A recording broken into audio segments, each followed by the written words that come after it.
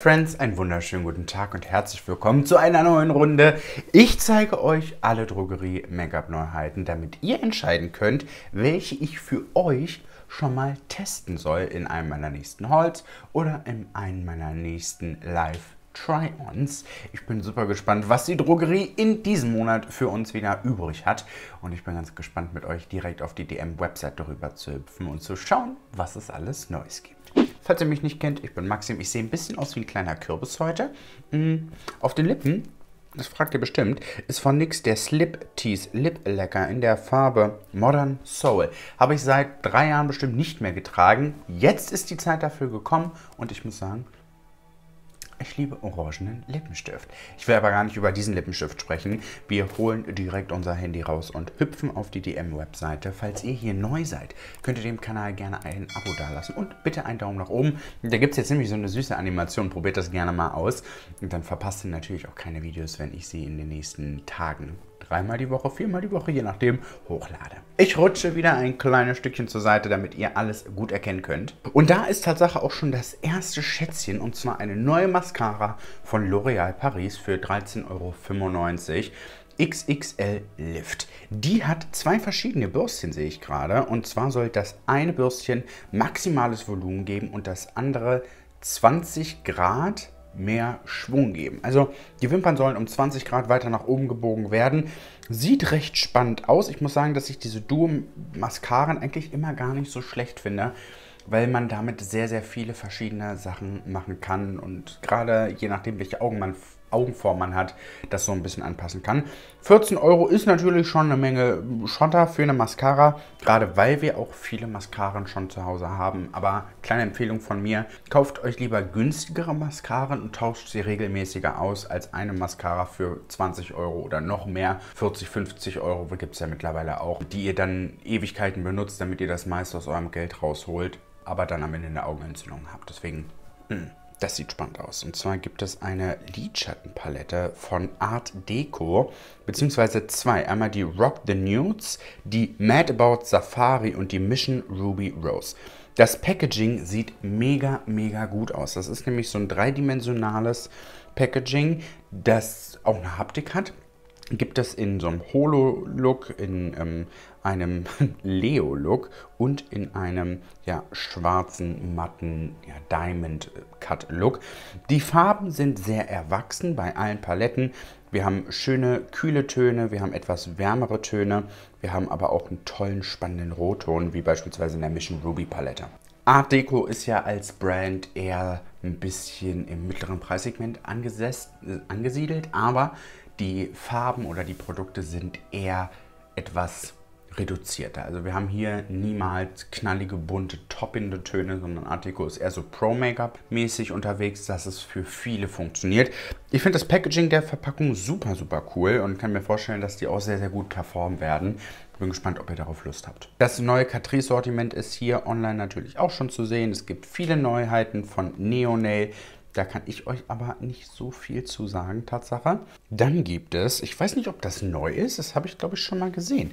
Das ist von Maybelline, ein Make-up Instant Perfector Glow 4 in 1. Das sieht aus wie der Augenlöscher, nur halt in riesen, riesengroß. Und ich weiß jetzt nicht, ob das ein Highlighter ist oder doch hier. Primer, Concealer, BB Cream und Highlighter in einem. Das finde ich persönlich super spannend. Ich mag es ja im Moment gerne, diese etwas reduzierteren Produkte. Gut, das ist jetzt kein reduzierter Look, ich jetzt, aber ich habe auch gerade schon was anderes gedreht. Aber ich glaube, ihr wisst, was ich meine. Das könnte etwas sein und ich hoffe, dass es besser ist als dieser 4 in 1 Perfekter. Der war ja der größte Flop oder einer der größten Flops 2022 meiner Meinung nach. Und das Ganze soll sogar vegan sein. Die Looks sehen sehr, sehr schön aus. Die Farben sehe ich jetzt hier nicht, aber Maybelline hat immer eine recht gute Shade Range auf jeden Fall. Das könnten wir gerne mal ausprobieren. Ich sehe aber gerade, dass es erstmal nur online zur Verfügung ist. Dann gibt es viele neue Paletten von Catrice und Disney. Das ist ja die Villains LE. Hier ist aber eine Palette, die ich noch nicht gesehen habe. Und das war die Scar Palette mit wirklich schönen, spannenden Grüntönen und trotzdem auch alltagstauglichen Brauntönen. Ich könnte mir vorstellen, dass das eine gute Ergänzung zu meiner Lidschattenpalette ähm, von Catrice ist. Die werde ich mir auf jeden Fall noch besorgen, weil ich die einfach sehr, sehr schön finde. in der Sammlung und grün ja in der Drogerie recht selten vorhanden ist. Dann gibt es von Manhattan das Lasting Perfection Kompakt Puder.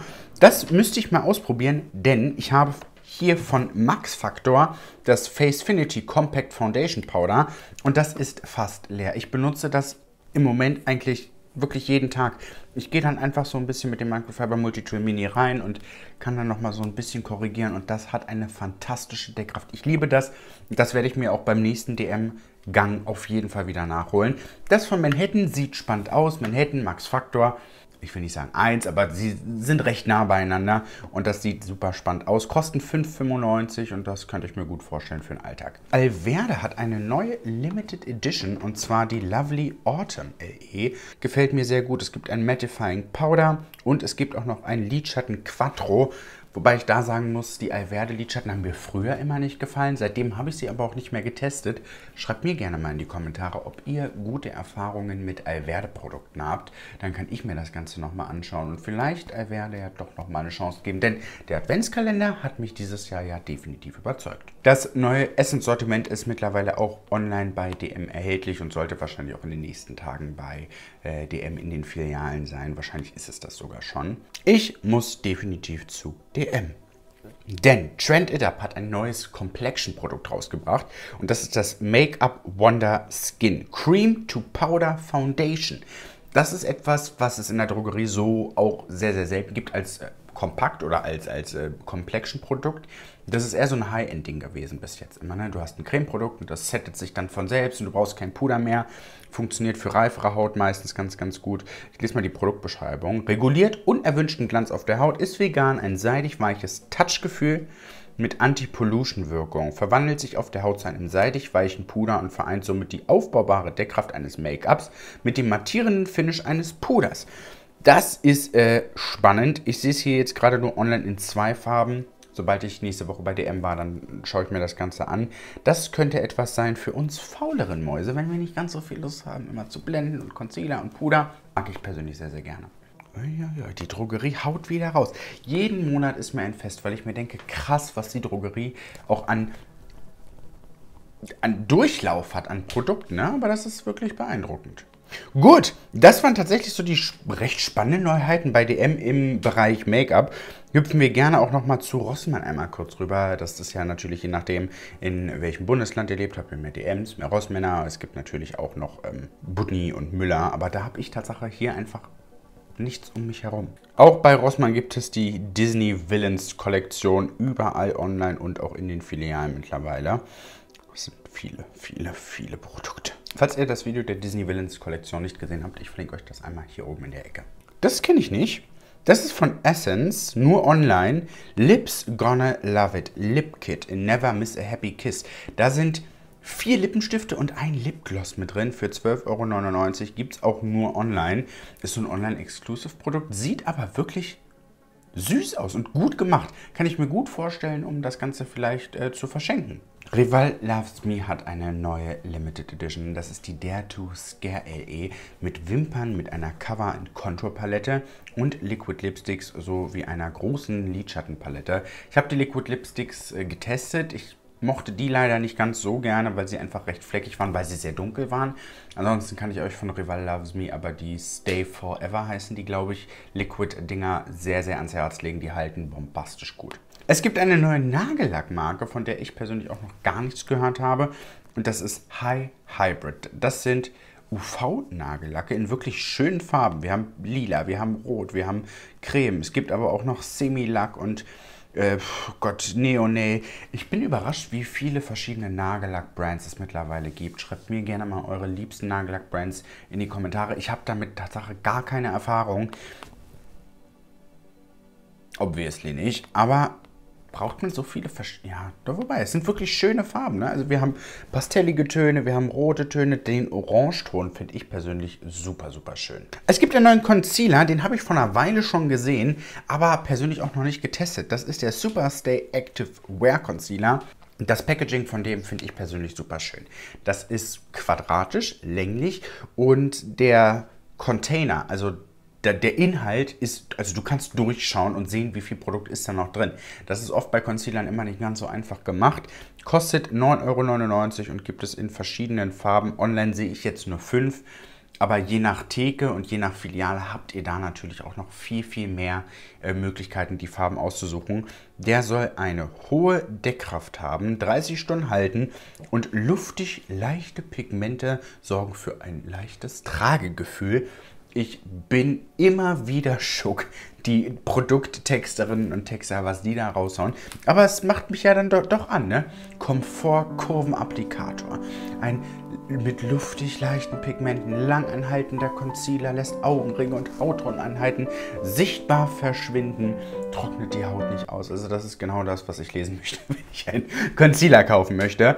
Auch den sollte ich vielleicht mal ausprobieren. Vielleicht machen wir wirklich noch mal so eine Runde. Äh, ich schaue mir neue Complexion-Produkte aus der Drogerie an.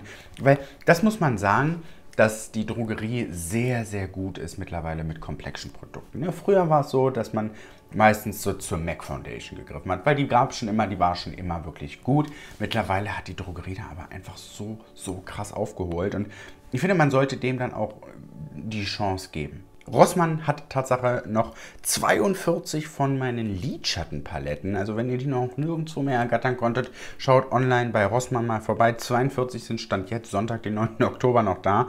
Ähm, die Pinsel sind weg, die Blushpalette ist noch da. Wie viele sind es da? Eine. Und vom Lip Glaze haben wir noch online zwei. Also, Freunde, falls ihr sie noch nicht habt, seid schnell. Ansonsten gibt es Kontaktlinsen von Reline, Beauty-Linsen in verschiedenen Farben. Die sind sehr, sehr teuer. 39 Euro ist schon eine Menge Schotter für Kontaktlinsen. Die haben aber also es sind farbige Kontaktlinsen. Ich mag das ja eigentlich ganz gerne. Es war vor ein paar Jahren mal wirklich Trend, diese bunten Kontaktlinsen. Was ich persönlich nicht so schön finde, ist, wenn ich jetzt beispielsweise hellblaue Kontaktlinsen reinmachen würde. Das sieht sehr, sehr fake aus. Aber wenn ich mir welche aussuche, die ein bisschen zarter sind, die vielleicht einfach nur mehr Grün-Touch haben, dann kann ich mir das Ganze vorstellen. Wobei ich auch sagen muss, ich habe mir extra die Augen lasern lassen, damit ich keine Kontaktlinsen mehr tragen will. Und 40 Euro finde ich schon, ja, ist schon, ist schon, ha, ist schon heavy, vor allem, weil die keine Sehstärke haben. Aber es sind schöne Farben. Wir haben Silbergrau, Enzianblau, Lindgrün, Stahlblau, Türkis, Eisgrau, Haselnuss, Beigebraun, Apfelgrün. Ja, vielleicht tragt ihr sowas? Soll ich das mal testen für euch? Oh nee, was ist das denn?